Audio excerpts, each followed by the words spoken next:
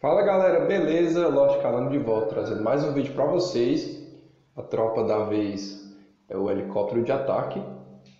É, eu tenho essa tropa há bastante tempo, só que eu não. Eu resolvi não fazer um vídeo sobre ele, por quê?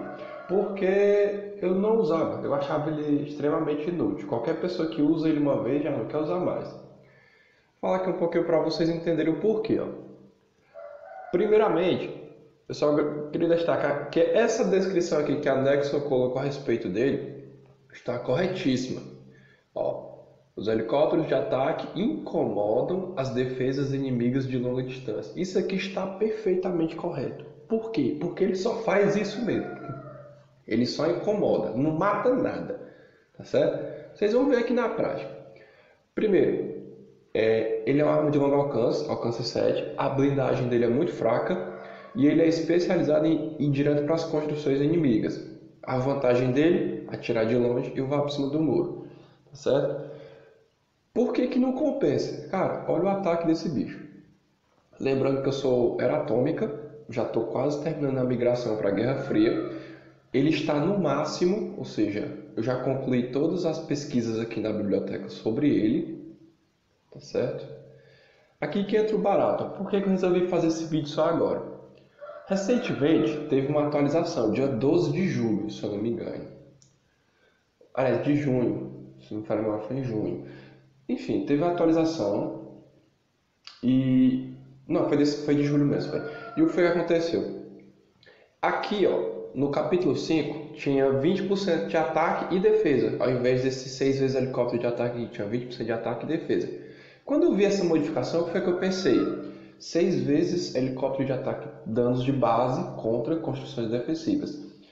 Eu, eu não sei se foi de tradução ou foi de interpretação minha, mas o que eu entendi foi que depois de concluir essa melhoria ali, o ataque dele seria multiplicado seis vezes o dano contra construções defensivas. Na hora eu pensei, pô, ele vai ficar com bem pouco de, de dano, vai ficar um dano muito bom. Aí realmente vai valer a pena você usar ele, porque ele vai, vai ficar com dano próximo ao dano dos canhões e o foco dele vai ser todo em construção defensiva. Então realmente iria ficar muito bom. Só que não foi isso que aconteceu. O que aconteceu foi que o dano dele ficou seis vezes o dano normal, o dano contra soldados normais.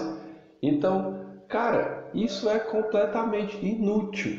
Inútil. Vocês vão ver na prática porque que esse helicóptero é completamente inútil. Se deixasse o dano dele em torno de mil por aí, talvez ele ficasse utilizável. Ele ficaria muito utilizável. Aí a pessoa pensa, ah, mas ele ia ficar muito overpower, porque ele ia ficar com dano muito forte, ir direto para as defesas. Só que se lembre, ele tem pouca vida. Então qualquer morteiro, aliás, qualquer bateria dessa aqui que esteja adequada, derruba ele. Olha o dano aqui, ó.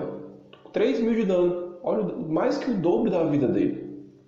Entendeu? Então, outra coisa, a torre sniper. A minha torre sniper é nível 2. Tá ultrapassada? Tá ultrapassada. Por quê? Porque eu só foco em upar ataque. Só que, ó, vocês vão ver na prática que uma torre sniper da era atômica derruba ele facinho.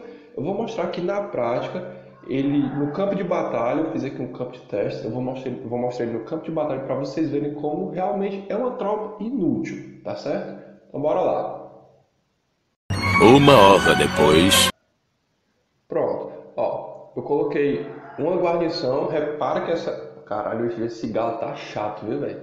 Pessoal, perdoe o galo do vizinho, tá bom?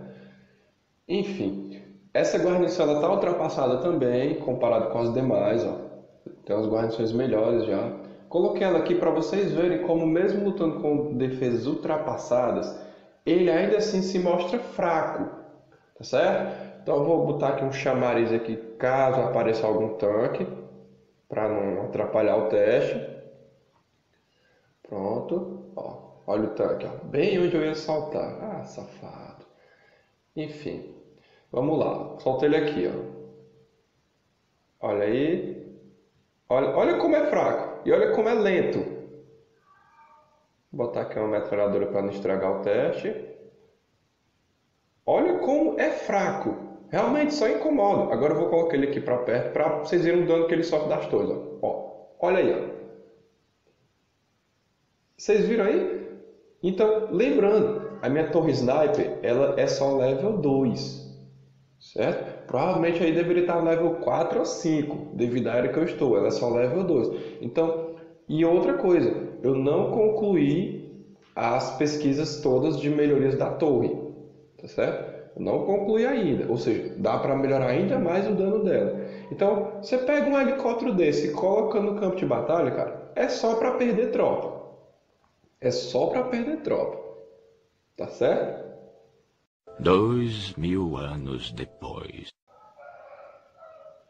Tá aqui ela mais detalhada aí, ó, para quem quiser ver.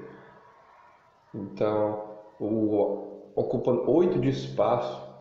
8 de espaço. É muito, pelo pouco trabalho que ela faz. Pouco ou nenhum, na verdade. Né? Então, essa atualização que teve referente a ele, totalmente inútil. Totalmente inútil para que essa unidade ficasse usável. Usável. O ataque dela deveria estar em torno, no mínimo, no mínimo, no mínimo, de 700 para lá. No mínimo para que ela se tornasse usável. Aí sim você poderia substituir ela por um canhão, que também ponto fraco são armadilhas terrestres, minas, né? até mesmo aquelas armadilhas daqueles ferrinhos que soltam, esqueci o nome agora, é, as armadilhas de lança, mata, tá certo? E as torres sniper também. Então seria um substituto para torre, para o canhão, só que o foco dele seria a construção defensiva, né? Mas, infelizmente, outra tropa inútil que a Nexon colocou só para fazer volume, para dizer que tem, a melhoria dela da Guerra Fria também não compensa. Ó, não compensa. Nem faz. Olha, 85 de vida, cara. É, o que é um, é um sopro? A rebola uma pedra, derruba. Pronto. Aumentou a vida. É uma pedrada. Né? 15 de ataque contra, contra construção defensiva. 15 de ataque. 15. Você pega uma melhoria. Meu canhão que já está no Master Eratoca. Ele vai ganhar mais 900 de vida na Guerra Fria. Mais 900. Aí o cara vai e aumenta mais 15 de ataque para essa porcaria aqui. 15. Isso aqui não é nem helicóptero, isso aqui é um mosquito. Certo? É mosquito de ataque. Então, é, cara, eu xingo essa porcaria porque realmente é inútil. Você não vê ninguém usando essa porcaria porque é inútil. É uma tropa inútil. Perca de tempo. É bonitinho, é bonitinho. É legalzinho? É legal demais você usar no campo. Agora é inútil. Tá certo?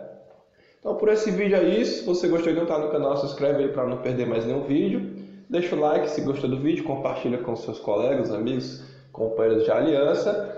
Vou ficando por aqui, valeu, falou e até a próxima. Isso é tudo, pessoal.